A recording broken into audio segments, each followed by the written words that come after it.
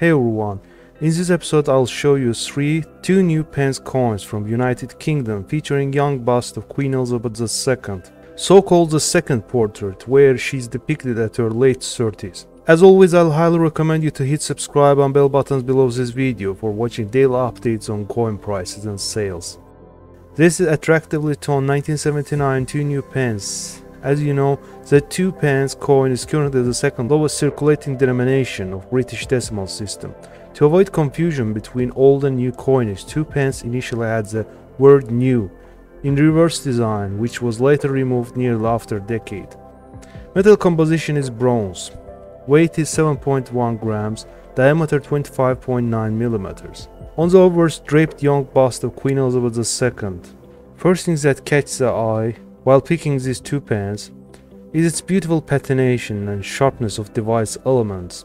As you can see the crimson, red, beige and light brown hints grace the surfaces of the fields and device.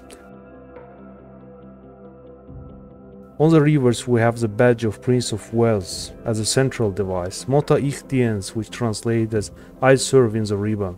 Face value above around and in numeral value below. Main distraction is this color damage at 7 o'clock. According to the NGC price guide at Day 60 these coins are worth 20 cents.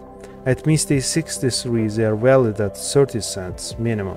But on eBay 2 pence coins sometimes sell for crazy amounts. For instance these about uncirculated 2 new pence was sold for $1255 believe it or not on October 27, 2022 by a seller from Cairo, Egypt. There is nothing rare about this coin, but some amateur coin collector got ripped off for sure.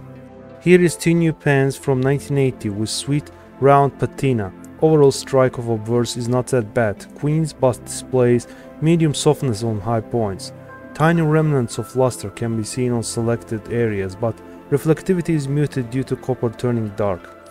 Under close inspection we see some medium-sized dent at 11 o'clock.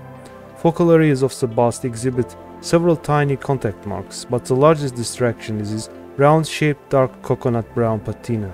Even at highest mint states available, they are worth less than a dollar, as for NGC price guide. And the last one, 1981 two new pence. These new pence is at very fine condition, circulated coin with significant abrasions and fading on surface of obverse.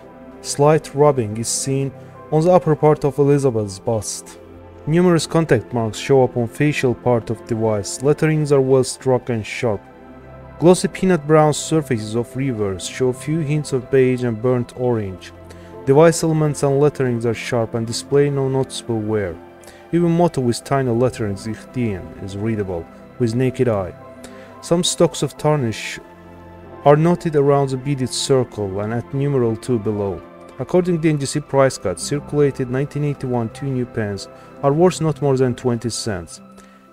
Even uncirculated coins can be fetched for 40 to 50 cents.